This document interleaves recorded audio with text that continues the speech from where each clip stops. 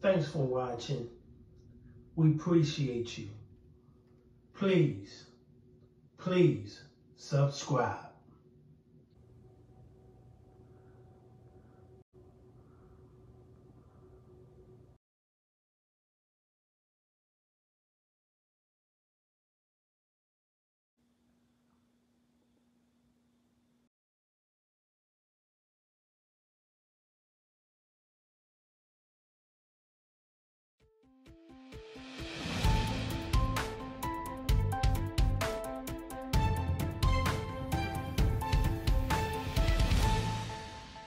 This driver said he went to pick up a passenger in South Baltimore, but four people showed up instead of just one. They eventually forced him into the trunk of his vehicle, but he was able to use an emergency latch to set himself free. He jumped out and then started screaming for help.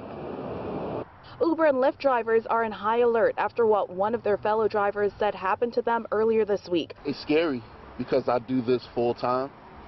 So it's like you wonder if it could happen to you. According to a Baltimore City police report, a Lyft driver was scheduled to pick up a passenger in South Baltimore around 10 Wednesday night. But when the driver arrived, instead of one passenger, there were four.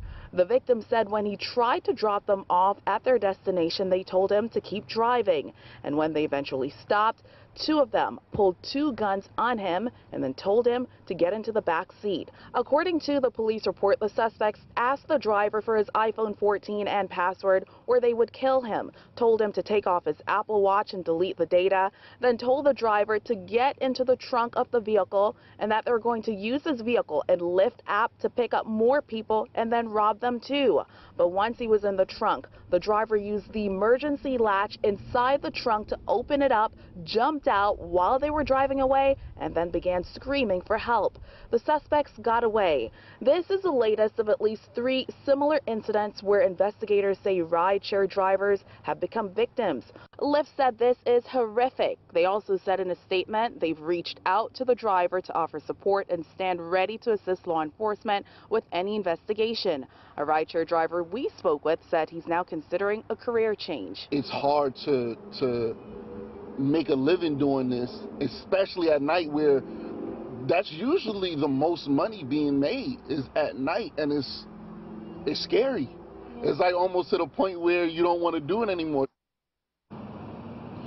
Baltimore City Police said they have made arrests in previous cases and right now they're working with their local and federal partners for the investigation. Live at City Police Headquarters, Ava-joye Burnett.